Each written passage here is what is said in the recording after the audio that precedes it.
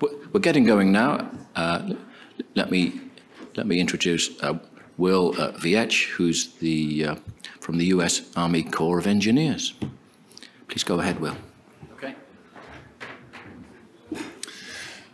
Well, good morning, everyone, and uh, thank you, Richard, for the invitation here to be here today. My name is Will Veatch, and I'm the lead for climate preparedness and resilience at the U.S. Army Corps of Engineers. So switching gears here a little bit from cybersecurity and now talking about a, a different sort of threat. And I think Richard invited me here because I'm going to give you a little bit of a different perspective than maybe what the rest of the workshop is about. The U.S. Army Corps of Engineers is not a science agency um, in the sense of NOAA or, or USGS, and, and, we're not a, a grant-making institution really either, but we are a consumer of science. And so my goal here is to give you an idea of how we are approaching climate preparedness and resilience with the hopes that you can understand what we as the customer maybe um, do with science and what we need to push the envelope uh, to further leverage the latest actionable science, but not go further than what science will allow either. Uh, and that, that will help you sort of shape your ideas and research and, um, and help us help you. So um, my goal here is to talk for about 30 minutes and allow about 15 for questions. So by the end of this talk, you should understand the uh, U.S. Army Corps of Engineers Civil Works mission areas, our policy when it comes to climate preparedness and resilience, what it is we actually mean when we talk about climate resilience, and how climate change really represents just one of many deep uncertainties that we deal with when we're planning projects. And then finally, some of the tools and the guidance that we use to help our uh, engineers and scientists who are working on projects to um, understand climate. And and I've constrained it a little bit to talk about flood risk because otherwise I would be here all week. So I'll just use flood risk as sort of an illustrative example. Um, but there are many, many kinds of risks that, that could be uh, addressed here. Okay, so for those of you who aren't familiar with the U.S. Army Corps of Engineers, we're sort of a medium-sized agency. We have 35,000 employees. Um, we work all around the world. So, you know, we're smaller than GEICO, um, but larger than a university, probably, many universities anyway. Um, and we're sort of like two families living in one house. We have the military construction or military programs side. So they are constructing army bases or VA hospitals or schools in Afghanistan, you know, airfields. Um, and I'm not going to talk very much about that, but I'm happy to take questions about it if you like. There's the other side of the house, which is the civil works side of the house. And it's a little bit of an interesting history of how the Army came to be involved in this.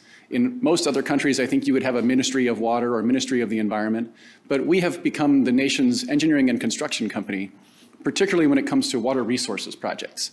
And Congress has given us authority to address eight what we call business lines or mission areas.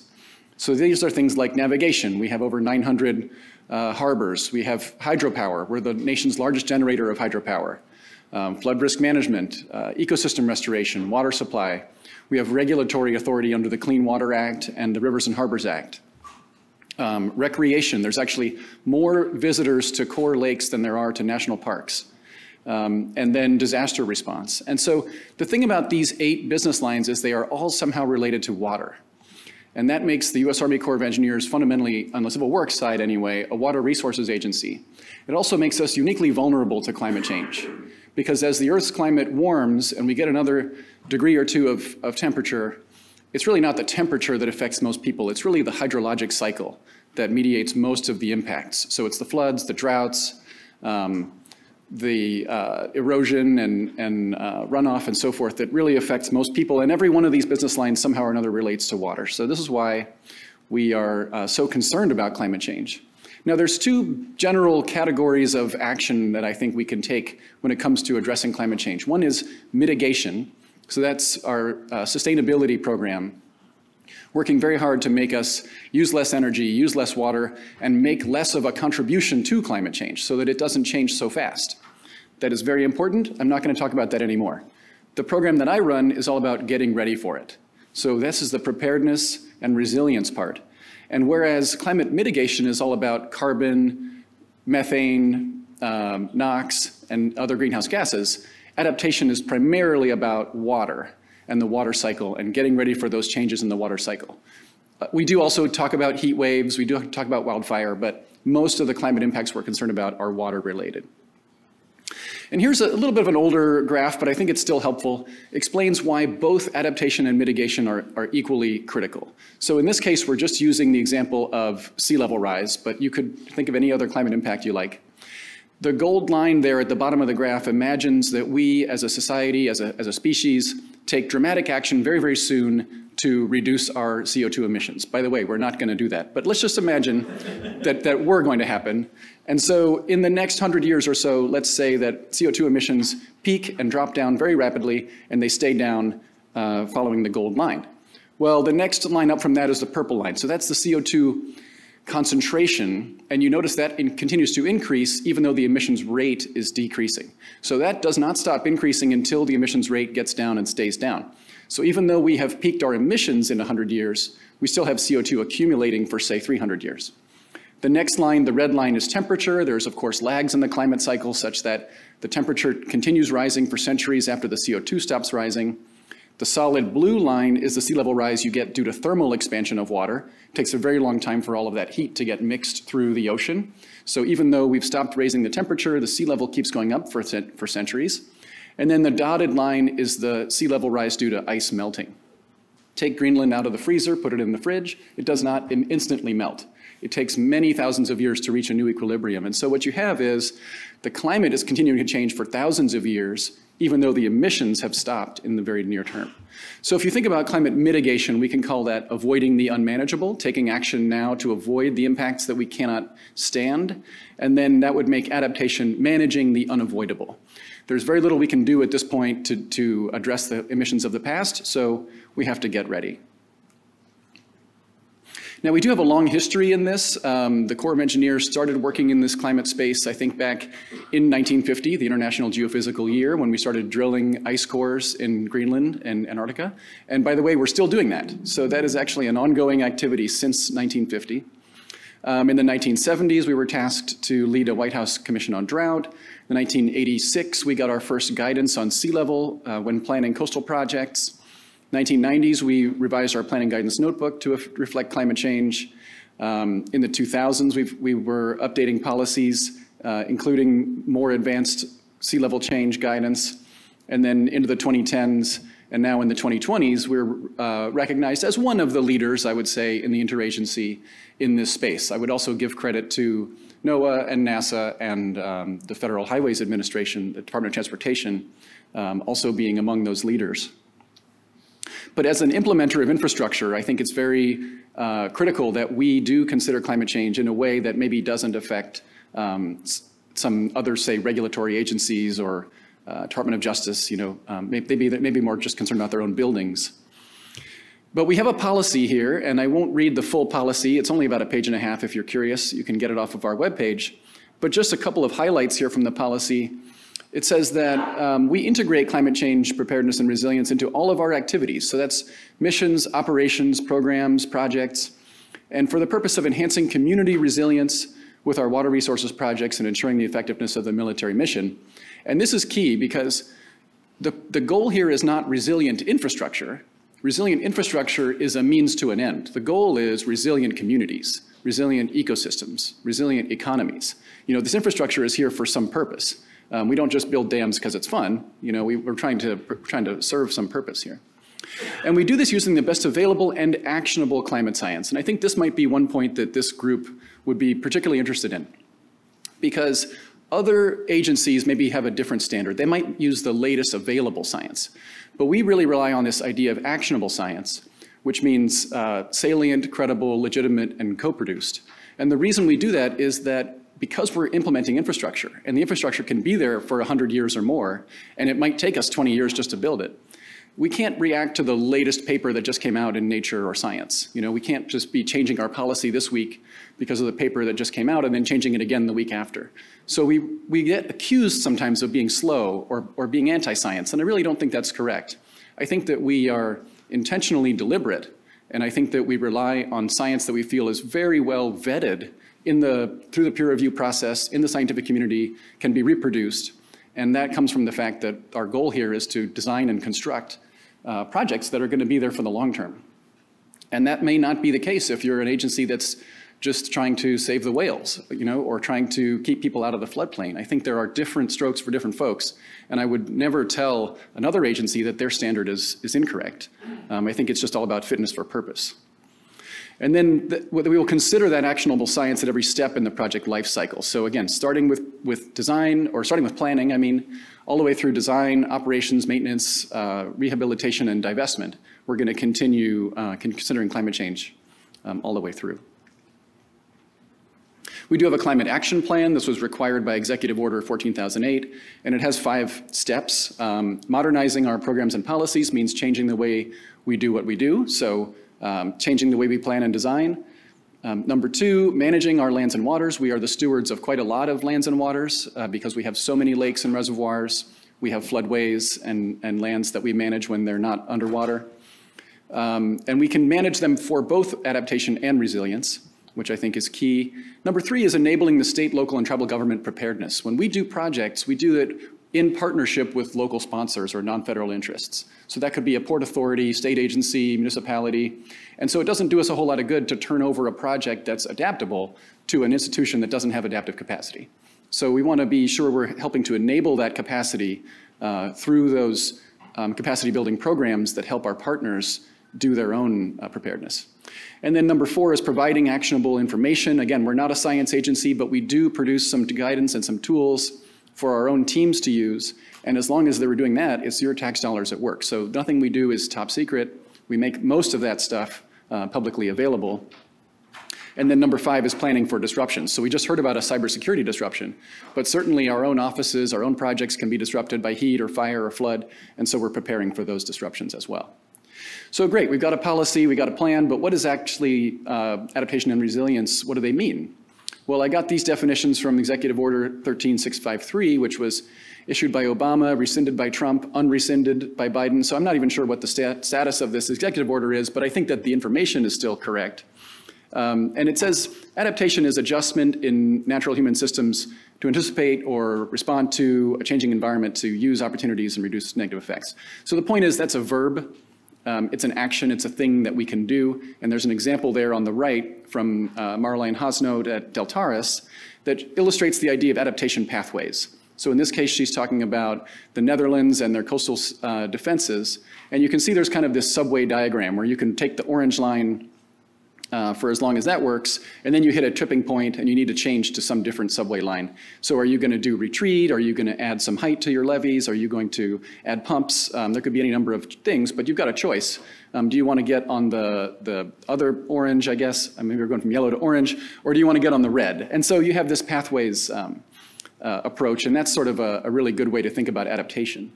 And then resilience is not an action, it's a trait or an attribute. So that's the ability to anticipate, prepare for, and adapt to changing conditions um, to withstand and respond to and recover from disruptions. So if your um, therapist is talking about resilience, uh, they mean something different. Or if you're you know, public health official and you're thinking about resilience, you mean something different. But what we're talking about here is prepare, absorb, recover, and adapt. So make our projects able to withstand disruption without damage, if they take damage, make them easy to fix, so we reduce repair cost, reduce downtime, get them back into service. Um, and if we do it right, take the opportunity to adapt them so they can actually bounce back better than when they started.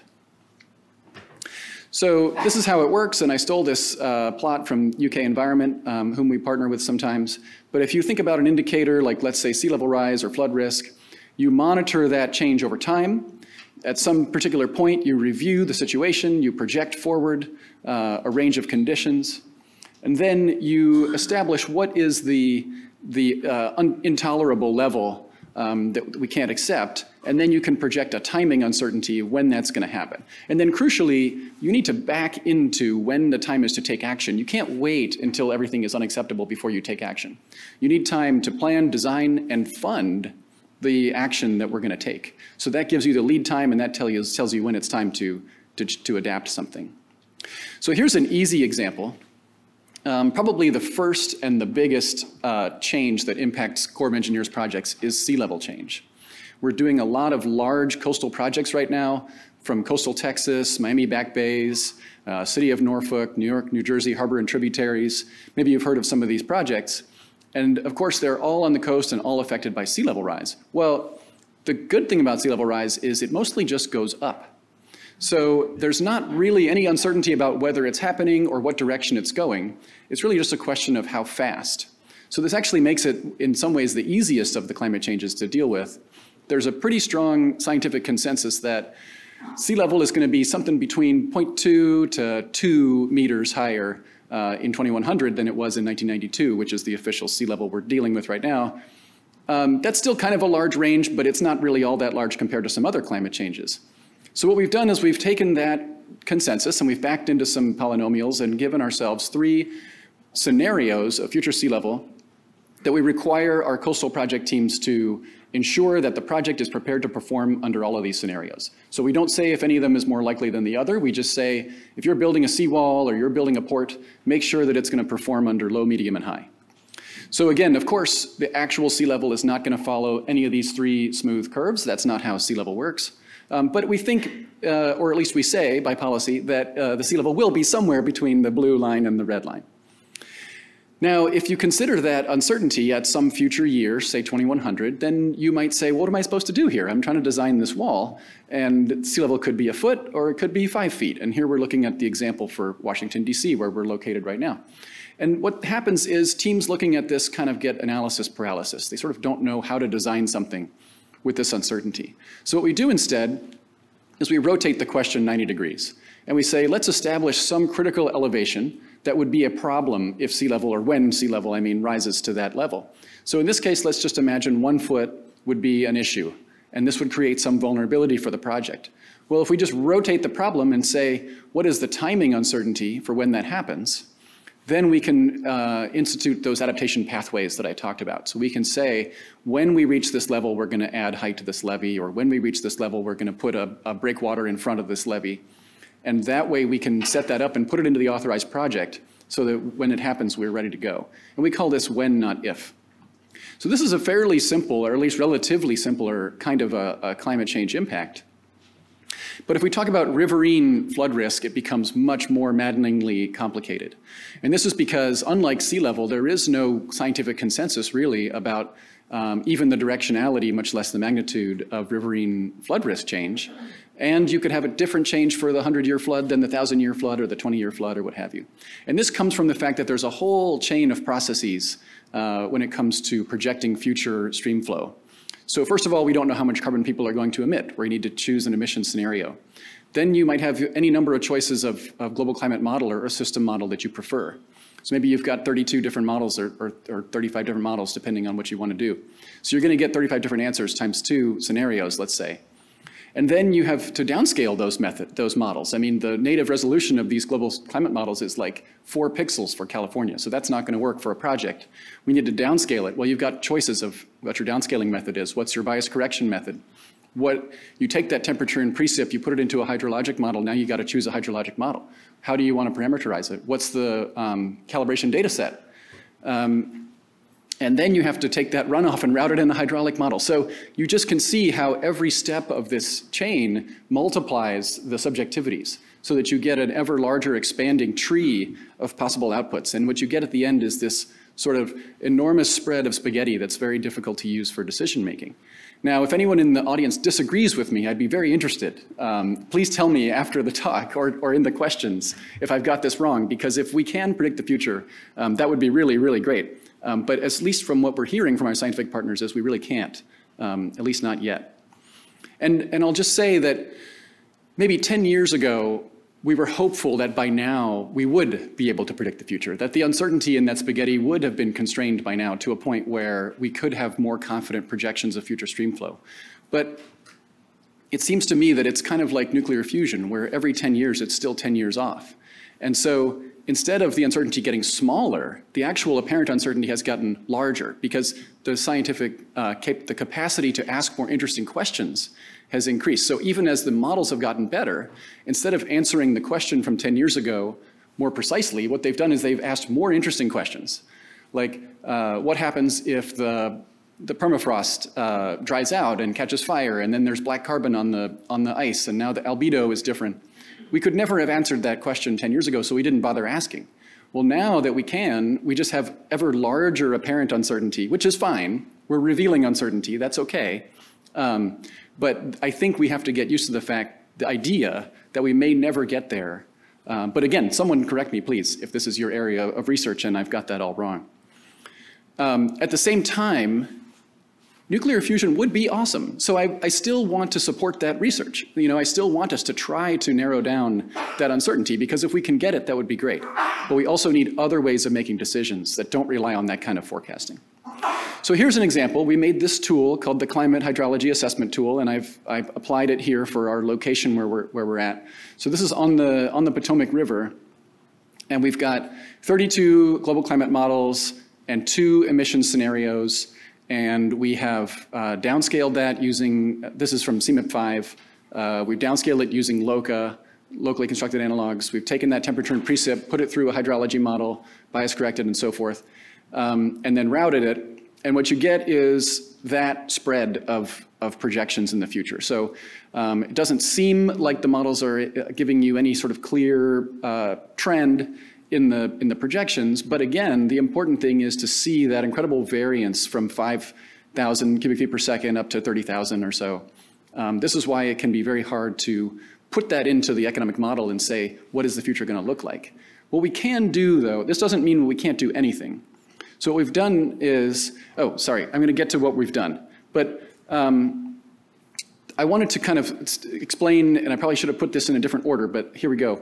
Um, I wanted to explain sort of why we take a scenario approach.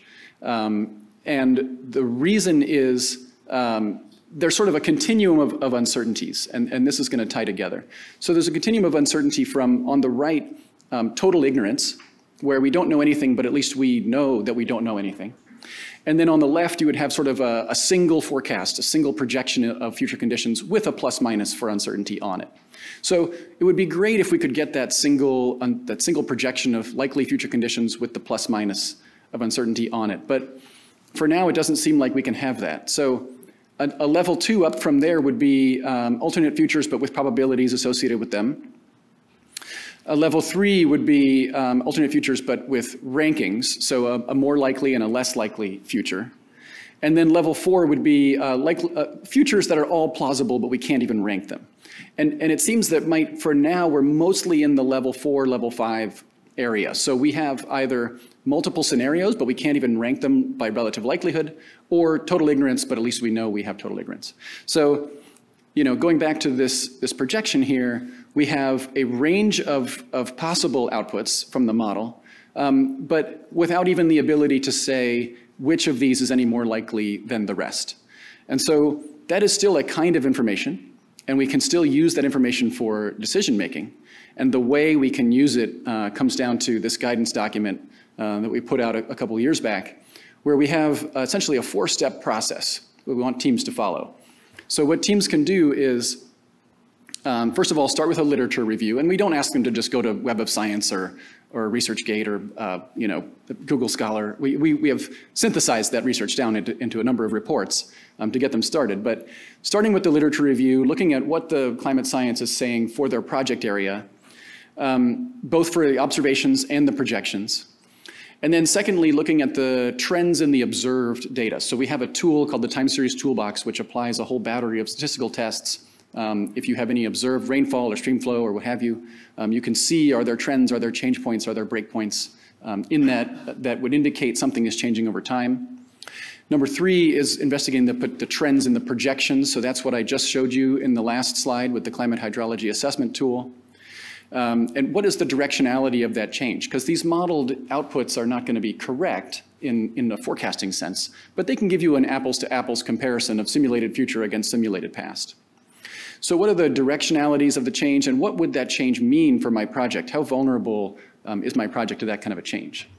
And that gets us to the vulnerability assessment phase, which is where we combine the projections with indicators. So again, remember we have business lines, flood risk management, navigation, recreation, hydropower. They all have different indicators of what would uh, the changes do to that project. So combining the projections and the indicators into a vulnerability score, teams can say, hey, even though I can't predict the future, there does seem to be some evidence here, multiple lines of evidence that indicate a potential vulnerability for this project in this particular way. And for that reason, we are going to recommend XYZ. We're going to recommend armoring this levee. So if it does overtop, it doesn't wash away. Or we're going to recommend adding some green space to store um, overwash if, if water does have to come into this area. So again, different from sea level, because with sea level, we are requiring our teams to plan for the future conditions. With Riverine, we feel like we just can't forecast in that kind of way. What we're doing is uh, more of a qualitative assessment. But qualitative data is data, obviously, and people can make recommendations based on that kind of information. So we've made a number of these web tools, and this has been uh, quite a success story for us. You know, most of our engineers and scientists are not climate scientists and don't want to be climate scientists. So we haven't, we're not just going to write a manual that says you must be a climate scientist. We, we make these web tools to make the analyses uh, faster, cheaper, more repeatable. Um, when the engineer does the analysis and then the technical reviewer comes after them to check it, they can use the same tool and see if they get the same answer.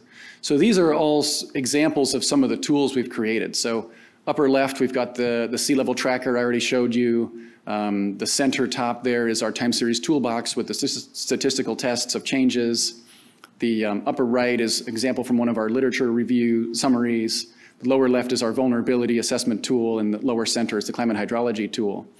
Um, so this has been something that has really saved people a lot of headache and a lot of training um, we have climate literacy as one of our objectives of the, of the climate action plan, but we don't want to spend all of our time training people. Um, they do have to know other things as well.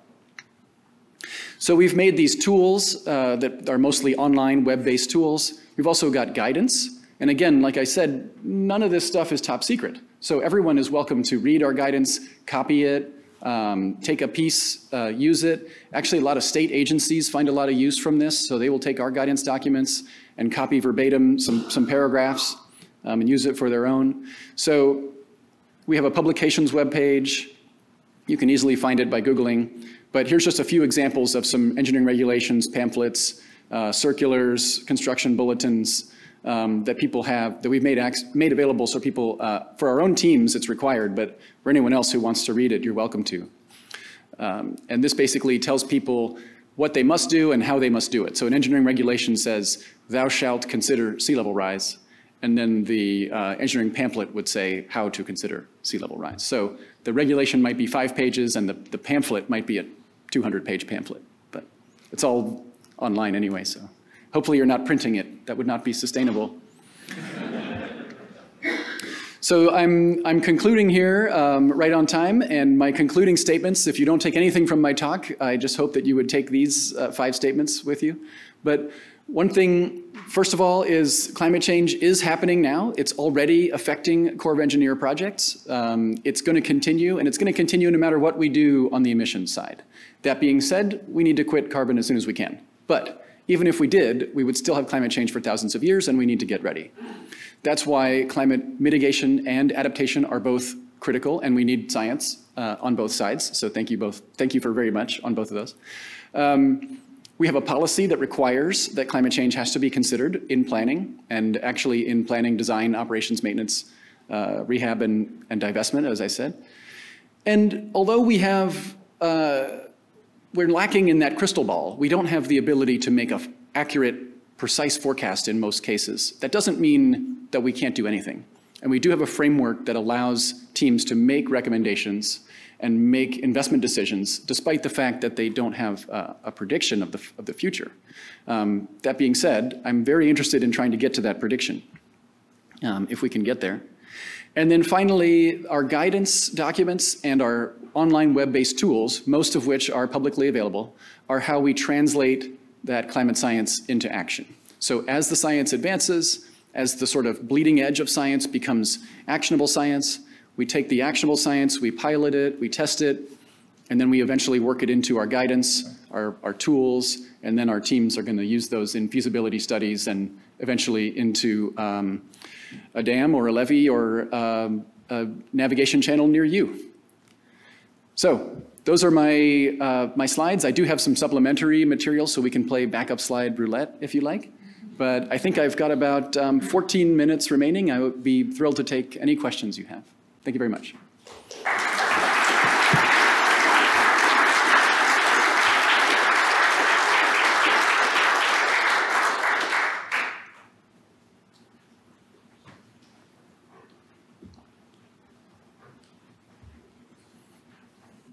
Hi. Um, my question is about sort of the federal government overall, and if any of your information, like FEMA has to, you know, they they consider what you've done when they go in and fix a disaster, and then how the money they give to like what do we have to repair and replace has to somehow align with your studies. If there's anything like that that's done in the federal government. Yes, great question. And I think the simplest answer is we sure try our best. So we have a lot of interagency working groups that are mostly convened by the White House, uh, OMB and CEQ, that are intended to make us work better together. And we also organically do those things too, through the auspices of things like the USGCRP. Um, we, we get ourselves together and we make sure that we're collaborating across the federal space, also with academia, international partners, NGOs, uh, state, local and state agencies. So we really do work very hard to try to collaborate. The, the worst thing is when you learn from your own mistakes when you could have learned from someone else's lessons learned, you know? So um, that collaboration is something that we always put a high uh, emphasis on.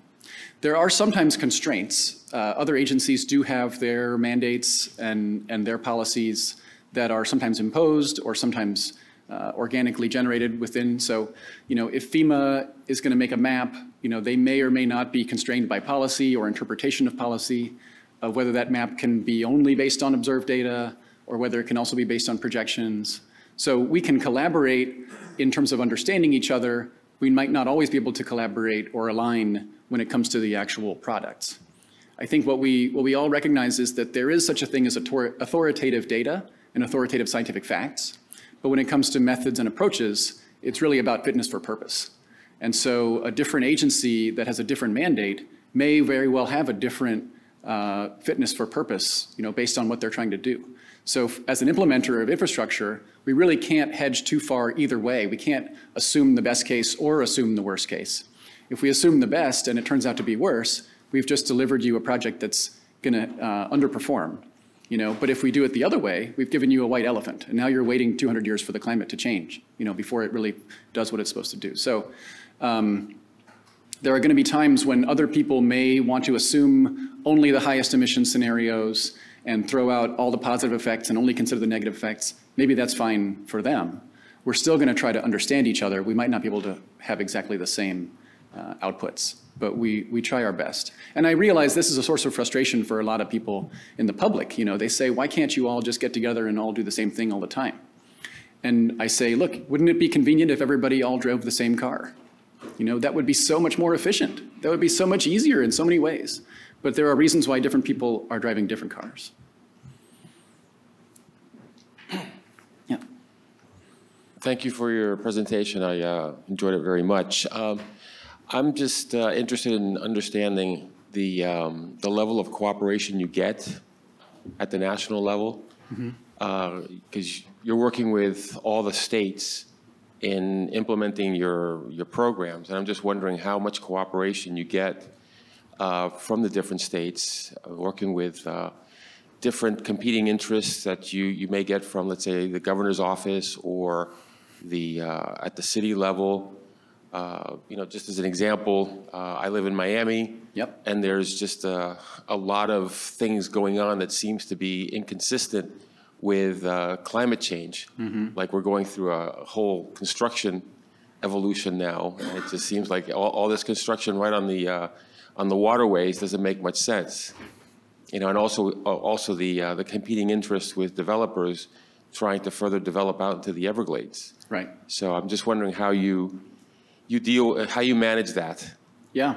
It depends a lot on the state. Uh, you know, 10 years ago, whenever I would go to a meeting, there would at least be one person who would try to argue whether or not climate change was real. Um, I'd never really see that anymore.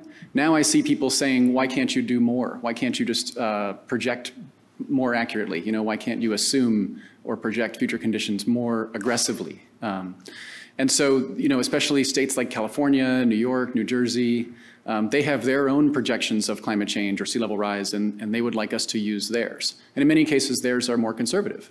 You know, they may have priorities that come down to things like zoning and building codes that are, um, I would say, asymmetrical in terms of the, the risk of type 1 and type 2 error there. So the pressure, I think, has shifted from, from why are you doing so much to why aren't you doing more. Um, Florida is interesting, South Carolina is interesting, you know, the political winds can shift very quickly. And what might have been a priority under one administration can change uh, 180 degrees sometimes. And then you have states that are just not very uh, well resourced, you know, Mississippi or Arkansas, you know, they just don't have the, the offices set up in some cases for some of these things. So it depends, depends quite a lot on the state. Um, looking at Miami and Florida in particular, I'm very interested in this idea of what people are really going to do in the future. You know, when we plan projects, we make assumptions about future population growth and, and patterns of that growth. And so far, people have not reacted as uh, spherical, frictionless, Econ 101 uh, rational actors. You know, they haven't started leaving Miami or Virginia Beach, uh, much the opposite. You know, the, the boom is ongoing. And so when we plan a project in Miami, what should we be assuming people are going to do in the future? It's very interesting and I think that the projections that we come up with and the projections the state or the, the city, you know, the mayor's office might come up with probably going to be very different. So I guess it's just a long-winded way of saying it depends, um, which is sort of the only question ever. That's the answer to every hydrology question is it depends. Um, but um, yeah, it depends a lot on the state. And, and we do put a lot of emphasis on shared vision planning and, and getting consensus in our project planning because we do rely on those non-federal interests typically to pay 35% cost share of the project. So if the city of Miami is not on board with our plan, then there's no plan. Um, so we have to have a shared vision uh, to move forward.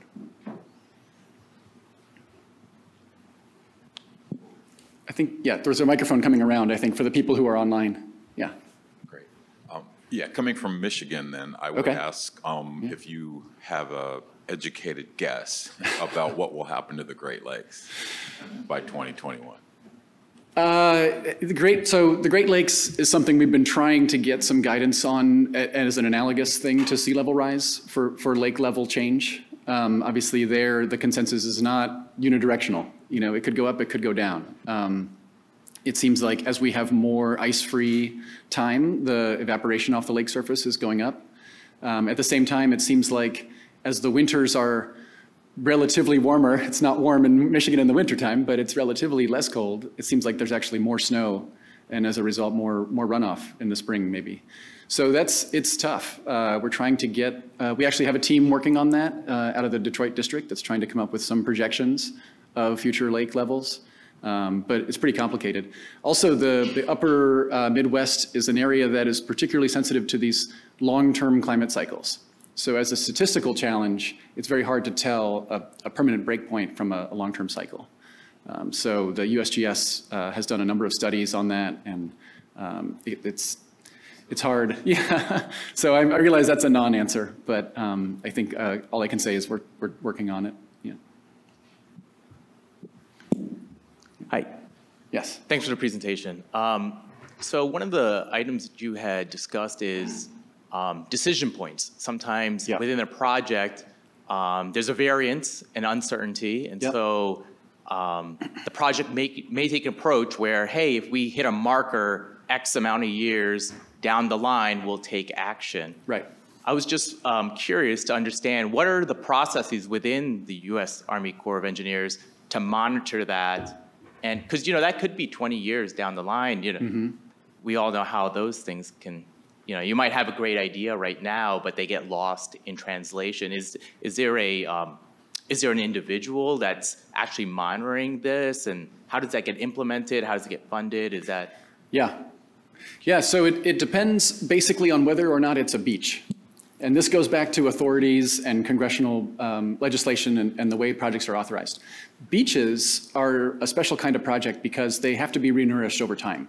You don't know when the storm is going to come, but when it does, it's going to erode a bunch of sand off that beach and you're going to need to come back and add more sand. So when you're planning over a 50-year economic analysis horizon, for example, you might figure on three or four or five nourishment cycles. You don't know when they're going to happen, but you assume at some point, you're going to have to come back and place more sand. And so because of that reason, Congress has authorized beaches to be able to use continuing construction funds to do those, those nourishments.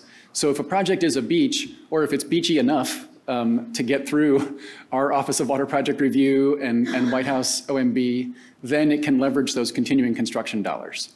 So for example, in New York City, there's the Jamaica Bay to Far Rockaway project that's a composite seawall. So it's a combination of a, a rock wall inside of a beach and dune. So it's a nature-based feature on top of a structural feature.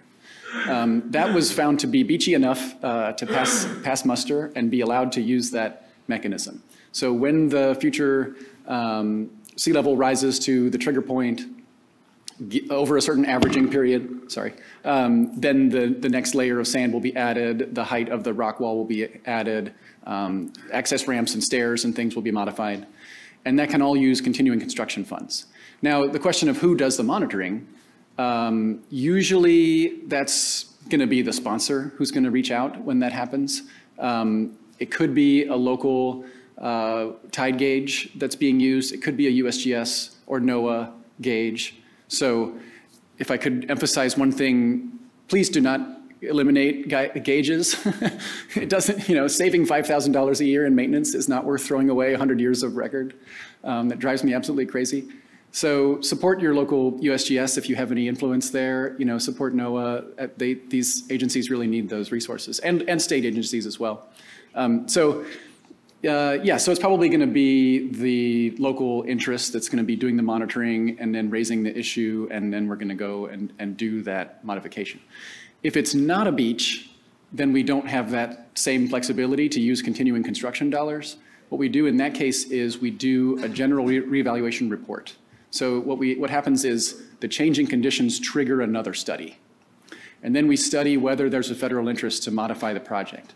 Now, probably there is, uh, if we set it up to be adaptable in the first place, then it's pretty low cost, pretty high benefit um, to, to do that adaptation step. But it does have to be studied over again, and that's just because of the way the, the projects are, are authorized. So, yeah. Yeah, I had a question. Okay, Um, yeah. I think your, your statement about more science is leading to more uncertainty is very profound. I'm going to. Yeah, more apparent uncertainty, yeah. More apparent, yeah. Yeah, right. Um, But I'm wondering, does the Army Corps, um, so on the topic of science, Yes. does the Army Corps, have you identified missing science or directions that need to be increased or improved? And does the Army Corps have the capability Yes. to, to direct or Yes. initiate science? Exactly. Yeah, yeah. So again, we're not a science agency. We're not really grant making. We don't go out with millions and millions of dollars and, and do basic science research. You know, that's what Richard does, I think. But um, you know, when we identify a particular knowledge gap where we need to we need to close this gap to do something in, in particular that's going to benefit our projects, then yes, we do have some ability to do very focused research activities. And we will go to national labs or universities and come with a few hundred thousand dollars, maybe for a couple of years, and do a very focused project with a specific outcome. And a lot of times our academic partners really enjoy these because they have you know, fixed deadlines, and at the end of the day, they get their name on a report or a new tool or something like that.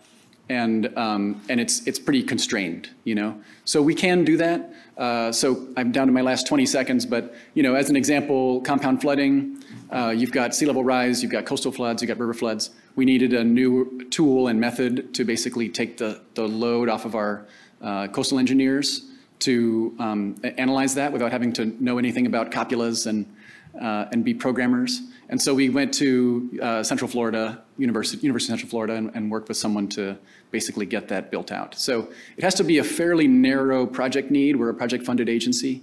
Um, but in those cases, yes, we do have the ability to spend a little bit of money. Nothing like a, a telescope in the Atacama Desert, though, unfortunately. I think I'm out of time here, but um, I would be happy to take to talk to any of you uh, over lunch. Um, and once again, just uh, thanks for your attention, and uh, thanks to Richard for the invitation. So.